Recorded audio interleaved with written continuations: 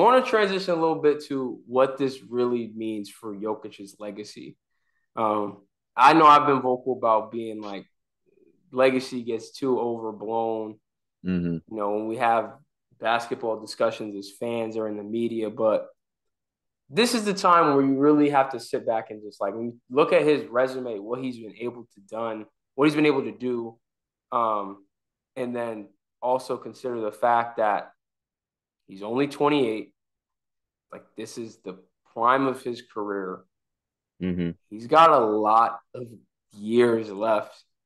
And this feels very similar to the conversation that we, like us, the media fans, were all having about Giannis a couple years ago. It's like, exactly. Look at all that he's accomplished. He's just now in his prime. Like he just now is here. The runway for both of these guys are putting them on that trajectory to say, y'all have potential. Giannis, I think, in a lot of people's eyes, mine included, honestly, is like probably a top five player at his position ever. Um, I think so. And it's starting to, you know, etch his name to, you know, top 20, top 15, and try to get into that range. And Jokic is on that trajectory right there, looking at, you know, the best centers of all time, looking at trying to become one of the best players of all time. Um, and like I said, um, two MVPs now, a championship, and a finals MVP.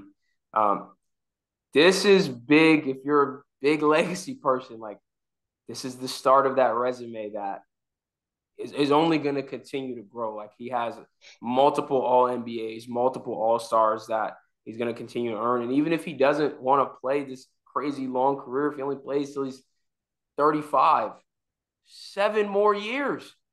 Yeah that's a lot of basketball left for um, one of the most dynamic and versatile and honestly unique bigs that we've ever seen play the sport of basketball.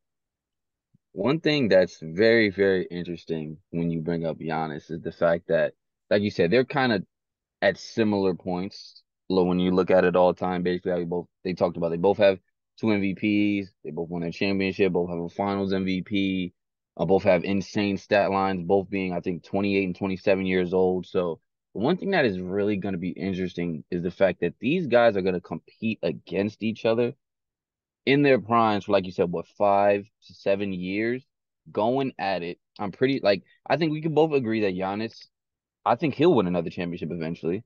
I think Jokic will win another championship eventually, but they could be on a course to like they they could be playing each other. They could be battling out for those championships. I'd love to see that. A, a full strength Bucks team, a full strength Nuggets team. That series would be insane. That for the people that think Giannis is still the best player in the league, for the people that think Jokic is the best player in the league, they could be battling out in the finals and really see who the best player on the planet is. So I I just think for the years to come, these guys will have some insane battles.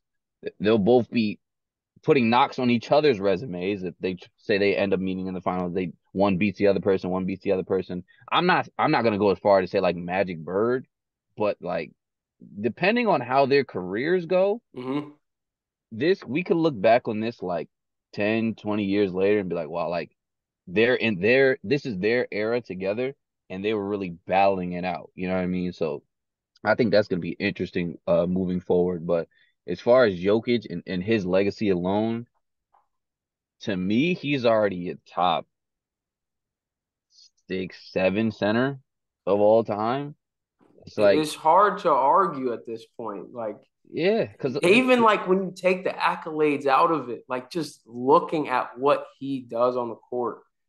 Like I said, we've never seen a big man like this before. I'm mm-hmm. watching mm-hmm. this dude catch the ball in the post, they're just throwing it up and he's grabbing it over his head and with he's not even looking, just like behind his back, he's throwing lobs like touch passes. Like mm-hmm. it's so he has such a unique skill set, and not only is it unique, but it's dominant. Like it is, he is one of the best playmakers we've ever seen. He just also happens to be seven foot two eighty. Exactly. Um. yeah. But like like even think about the centers. I think right now, I mean Kareem obviously, Shaq, Hakeem, Bill, Wilt. That's five. After that, I mean, Jokic has a case. I think obviously, you know, his career has to go a little bit longer. Like if he retires today, I don't think he's a top six center ever. But like we're just projecting like yeah. he's only he's only gonna make more all NBAs. He's gonna make more All Star teams. He's gonna have all these accolades. Like you know what I mean? Like so we're projecting. It's like eh, he's up there with who like David Robinson, Moses Malone, those type of guys. It's like if he keeps going, he eventually wins another championship. Even if he doesn't win another championship, it's like all those accolades, all those stats, along with the championship and the finals MVP, it's like it's, it's going to be hard to keep him out of those top center of all time conversations. Yep. I have the list here of all the players who have won multiple regular season MVPs and additionally a finals MVP and a championship, obviously. Mm-hmm. Um, Kareem, Bill Russell, Michael Jordan, Wilt Chamberlain, LeBron, Moses Malone, Larry Bird, Magic Johnson, Tim Duncan, Steph, Giannis, and now Jokic. The same company. Very, very, very elite and small group of players. There's mm-hmm. a lot of phenomenal NBA players that have not and will not ever reach that combination. And he's only going to get better. Right. And he's, and just just starting. Only 28. It's just like you said, it's crazy how we, we literally had this same conversation with Giannis.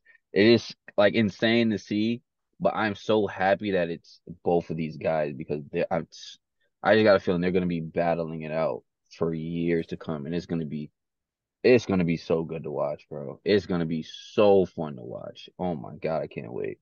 But yeah, I I cannot. I, I would if we ever get a Bucks Nuggets finals. Oh, I don't know. My, my life savings we might we might have to go to one of those. Yeah. we might have, we might have to take a trip to one of those games, bro. Man, that's and it's like two small market teams, two teams that were patient with their superstars two actually two teams that didn't even know they really had superstars. They kind of stumbled upon two of the best players in the league, but uh, they were patient and it, it paid off, man. It it paid off. It's it's great to see. The basketball fan in me is like very excited. The Lakers fan in me is like scared to death. like the Lakers fan in me is scared to death of what's about to come with these Denver Nuggets, man. But as a basketball fan, though, I would I would love to see like Jokic turn this into some sort of dynasty or just be a contending team for years to come. It, will be so great to watch.